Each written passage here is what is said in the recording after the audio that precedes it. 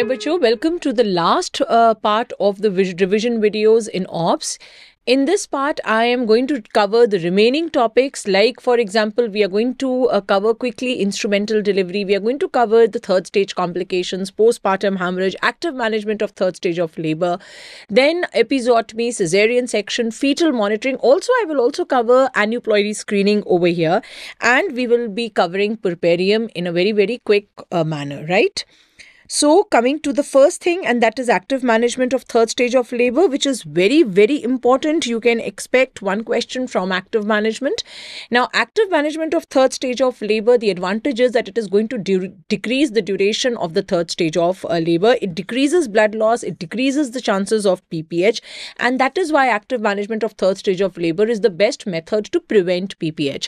Now, there are four steps in active management of third stage of labor, which you have to know. The number one step is injection utero hypotonic within one minute of delivery of the baby or immediately after the delivery of the anterior shoulder. This first step is the most important step in AMTSL. Number two is delayed cord clamping, where the cord is clamped between one to three minutes. Please remember delayed cord plank Uh, cord clamping is a part of AMTSL, but early cord clamping is not a part of AMTSL. Then third step is delivery of the placenta by controlled cord traction or modified Brandt-Andrews technique. This step should be undertaken only if a skilled birth attendant is present. And fourth step is intermittent assessment of uterine tone. Earlier, the fourth step was uterine massage, but now uterine massage is a part of management of PPH. It is not a part of AMTSL right? Now, coming to the first step, the details of uh, first step, and that is Number one, injection uterotonic. Now, the uterotonic which is recommended by WHO is oxytocin, and the dose which you have to give to prevent PPH and AMTSL is 10 international units, which you can give either IM or by IV infusion.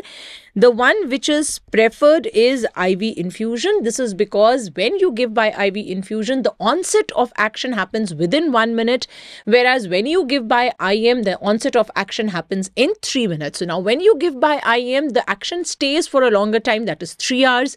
When you give by IV infusion, the action stops after one hour right then uh, if uh, who says if oxytocin is not available then you can go to alternative drugs like methyl ergometrin or methergin the dose is 0.2 mg which you have to give im we don't give it as IV because then it leads to severe hypertension. Then number three, you can give a fixed dose combination of oxytocin and methyl ergometrin, which is Syntometrine, where oxytocin is present in 5 international units and methyl ergometrin is 0.5 mg. This fixed dose combination, it is expensive, number one, and it is not readily available right? Then you can go for carbetocin. Carbetocin is a synthetic oxytocin, right? And because it's a synthetic oxytocin, that is why it has a longer T half. Normally, uh, the T half of oxytocin is very short. It is 3 to 5 minutes, right?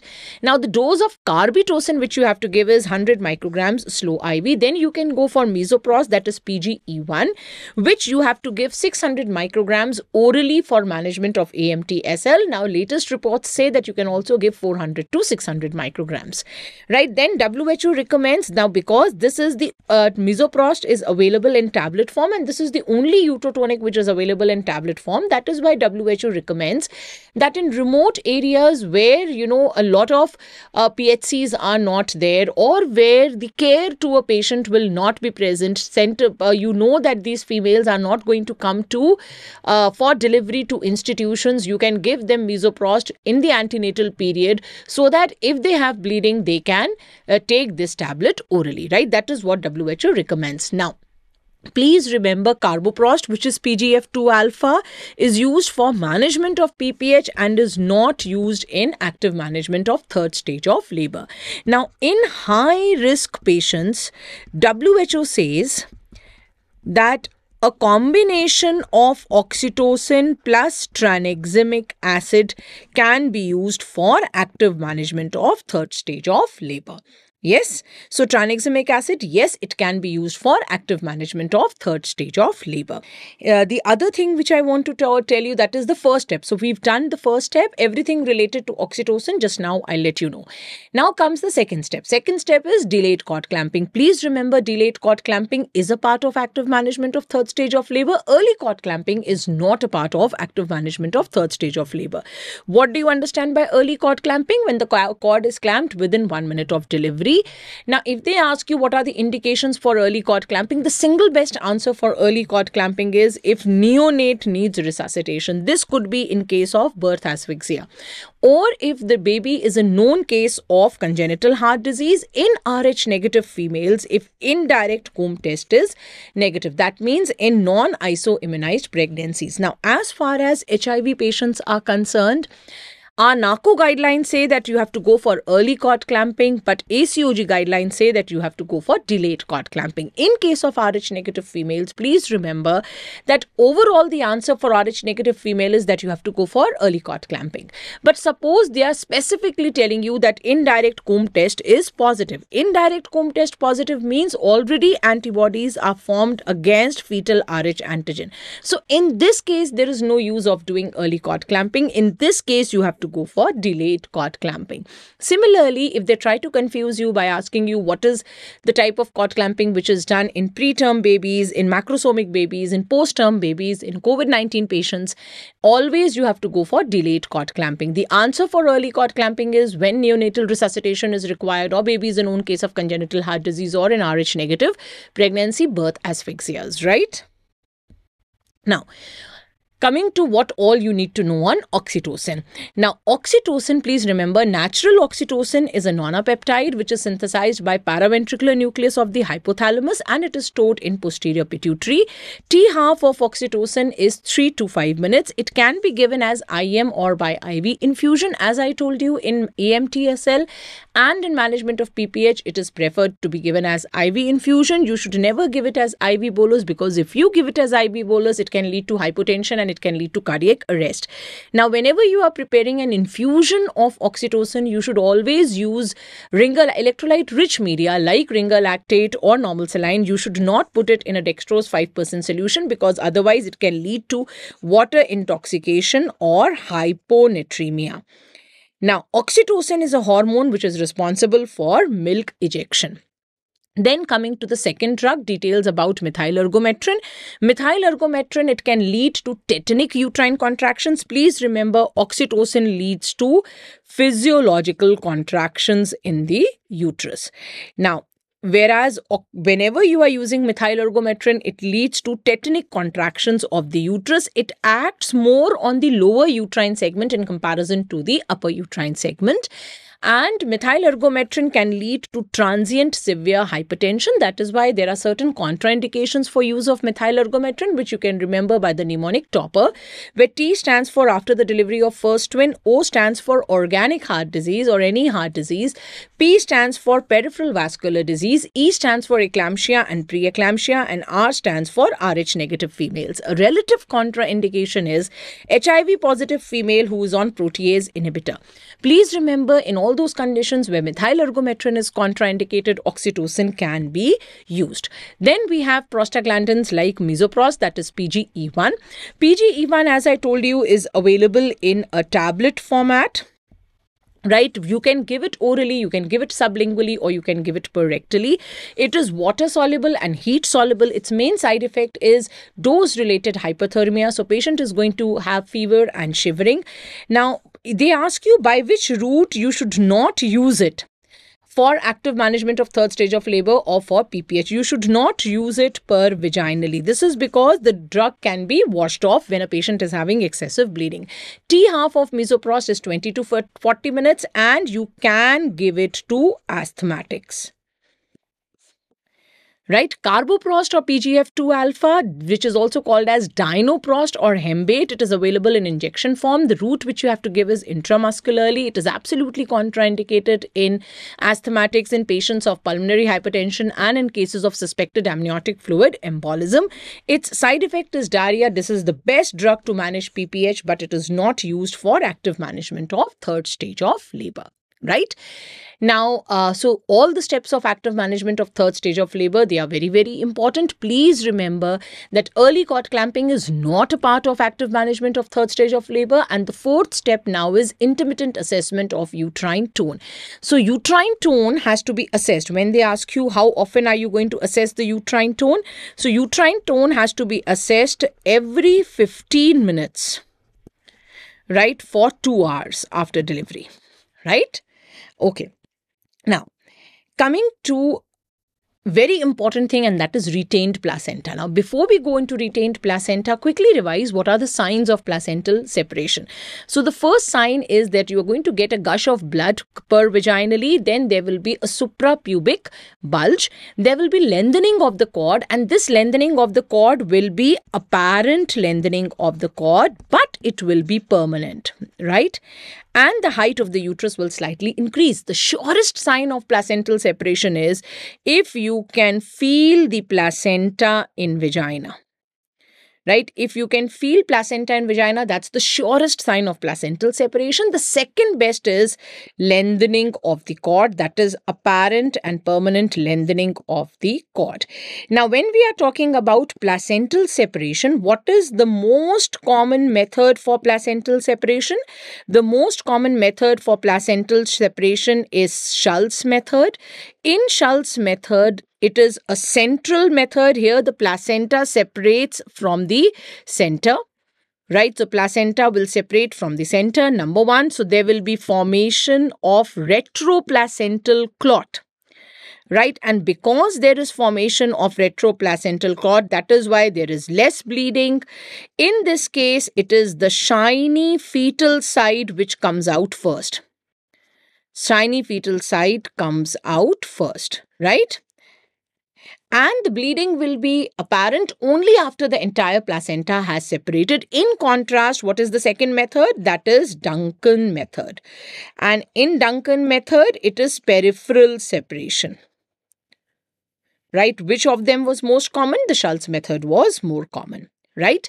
Now, coming to retained placenta, there can be three categories of retained placenta. First category could be that the placenta has separated from the uterus, but it is not expelled because the internal os gets closed. Right? This is what is called as a trapped placenta. How do I come to know that the placenta is trapped? Because all signs of placental separation will be seen. Now, whenever I have a condition like this, I'm going to empty the patient's bladder and then I'm going to see whether the uterus is relaxed or whether it is contracted. If uterus uterus is relaxed, I am going to give oxytocin because uh, the most important factor which is responsible for delivery of the placenta or separation of the placenta is uterine contractions right? But if i see that the uterus is already contracted and the internal os is closed then i have no other method except for manual removal of placenta. A second situation could be that the placenta is still attached to the uterus but it is not a morbidly adherent condition like it is not placenta accreta spectrum. So in this the signs of placental separation will be absent. Right? In this case, you have to give oxytocin plus you have to go for controlled cord traction and if it fails then you are going to go for manual removal of placenta. A third situation is that the placenta is not separating because the chorionic villi are invading the myometrium. That is what is called as placenta accreta spectrum. In placenta accreta spectrum, the next step is hysterectomy right? Now, if at any point of time while you are doing controlled cord traction, if cord breaks and they ask you what is the next step, next step is manual removal of placenta. Clear to all of you? Coming to placenta accreta spectrum. So in placenta accreta, the, which is the most common variety in placenta accreta spectrum, the villi are attached partially. So either the word partially will be written or superficially to the myometrium. In case of placenta increta, the villi invade the myometrium. Right, and in case of placenta percreta, villi are attached to serosa. Right, the two main pathologies which are responsible for placenta accreta spectrum are absent decidua basalis. So there is uh, the defective decidua basalis and there is absent Nitabuch layer.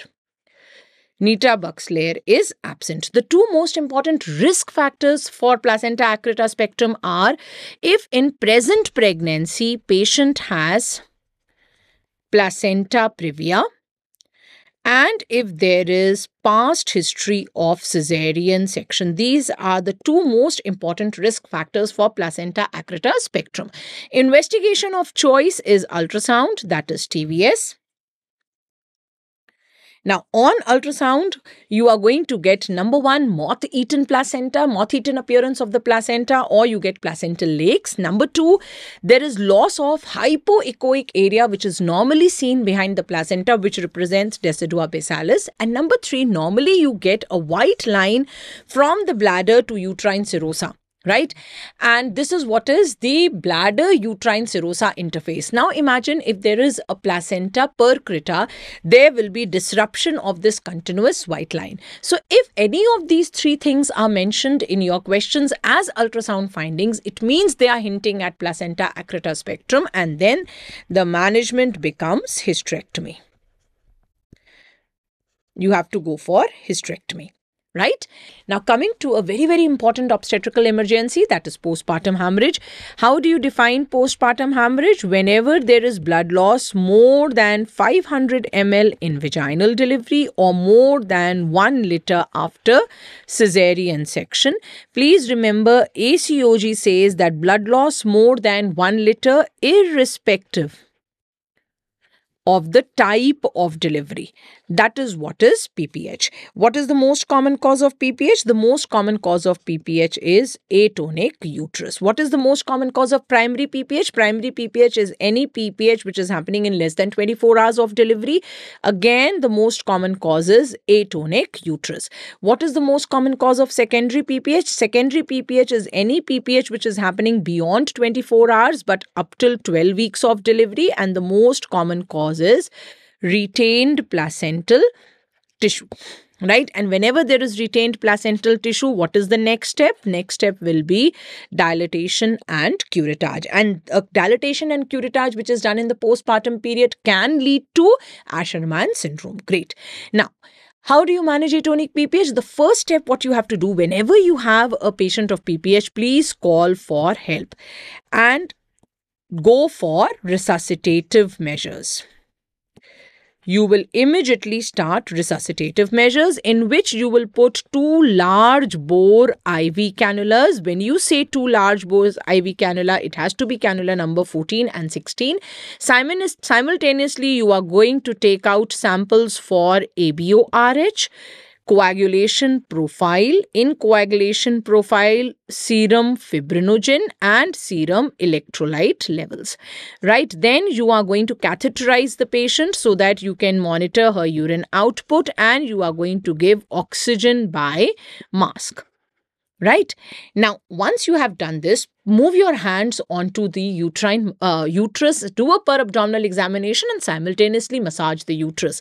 If you are seeing that the tone of the uterus is decreased right? Tone of the uterus is decreased. It means you are dealing with atonic pph now once you know you the, you are doing massage now you are also going to tell one of your assistants or someone is going to do uterine massage for you and you are going to shift to a per vaginal examination. Why are you doing a per vaginal examination? To rule out presence of any membranes or placental tissue which is not allowing the uterus to contract right? So once you've ruled out there is no uh, placental tissue or membranes inside then your diagnosis of atonic pph is confirmed. Once your diagnosis of atonic pph is confirmed you're going to do three steps. You are going to now do a bimanual massage.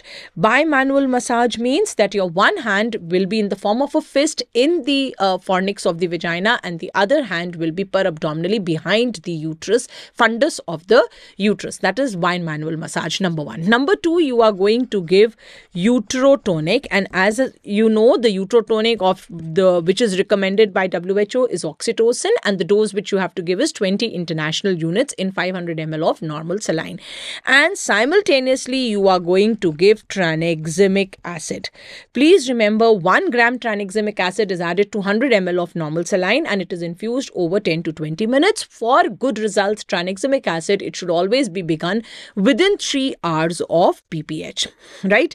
Now, this you are going to do right? Now if suppose oxytocin is and tranexamic acid are not able to control bleeding then you are going to go to methyl ergometrin. Methyl ergometrin the dose is 0.2 mg im and it can be repeated after every 2 to 4 hours. Remember that misoprost is an add-on drug. It is not an alternative drug. If bleeding is not getting controlled by oxytocin and by methergin the next step is never misoprost. It's an add-on drug which you can give Misoprost dose to control PPH as recommended by WHO is 800 micrograms, which you have to give orally or sublingually. WHO does not recommend giving uh, misoprost per rectally for managing PPH.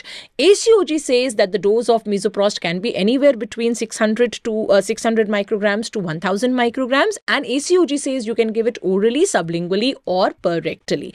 But remember, misoprost is an add-on drug; it is not the next next drug ever right? Now if bleeding is not getting controlled by oxytocin tranexamic acid and methyl ergometrin then before you shift to the next step you should always give carboprost which is pgf2 alpha. The other name for carboprost is dinoprost or dinoproston or Hemabate.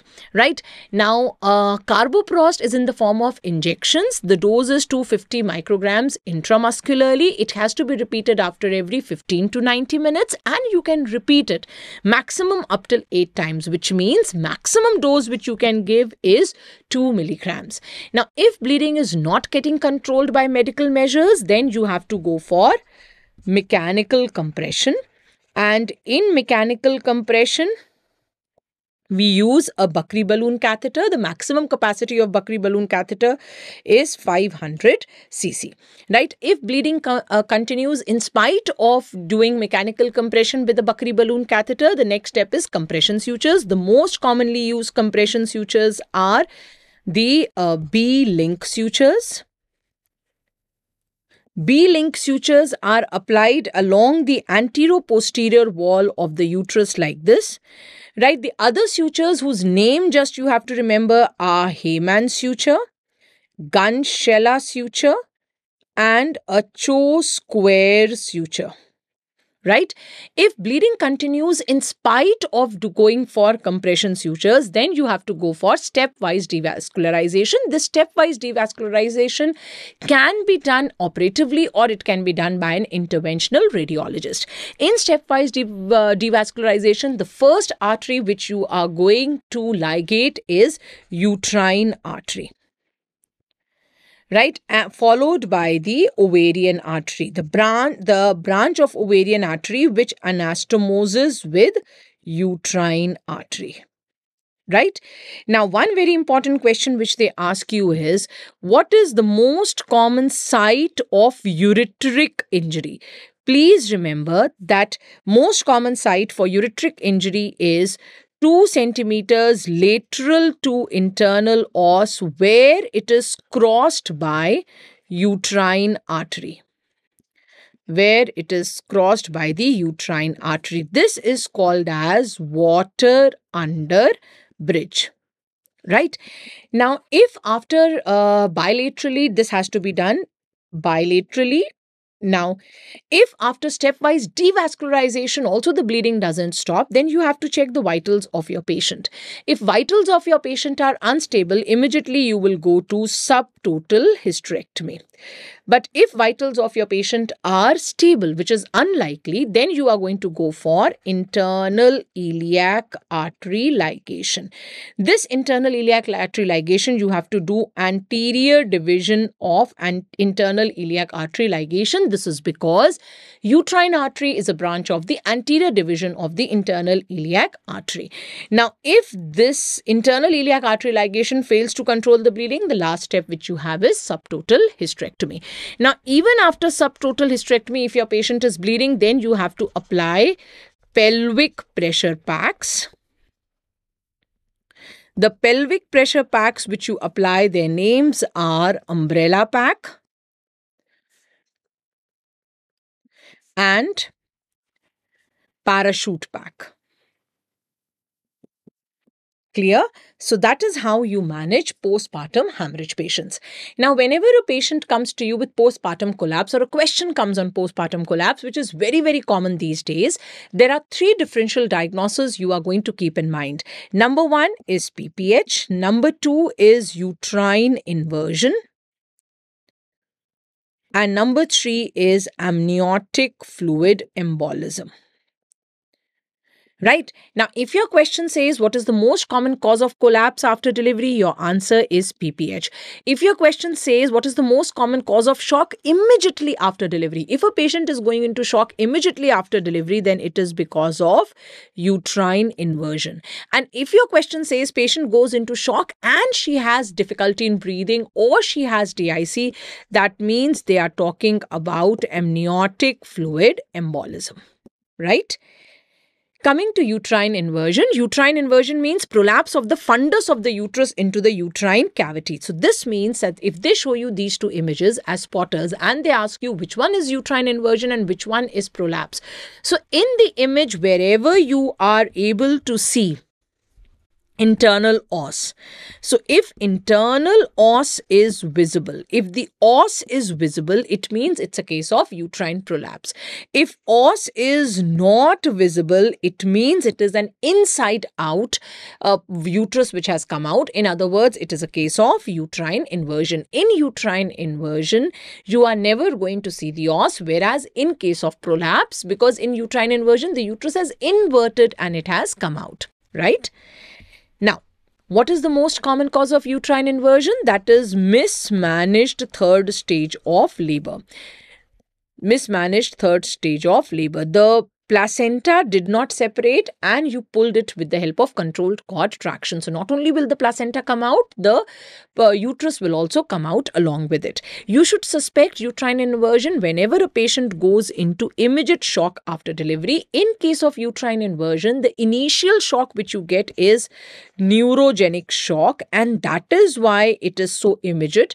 Later on, it leads to hemorrhagic shock because now the uterus is lying outside. So the tone of the uterus decreases and it leads to hemorrhagic shock. Death is due to hemorrhagic shock on per abdominal examination. In case of uterine inversion, you will feel a cup-like depression just below the umbilicus because the height of the uterus immediately after delivery is just below the umbilicus. Or you can say the fundus will be depressed. On per vaginal examination, you will get uh, the patient will have bleeding and a globular mass will be felt inside the vagina right?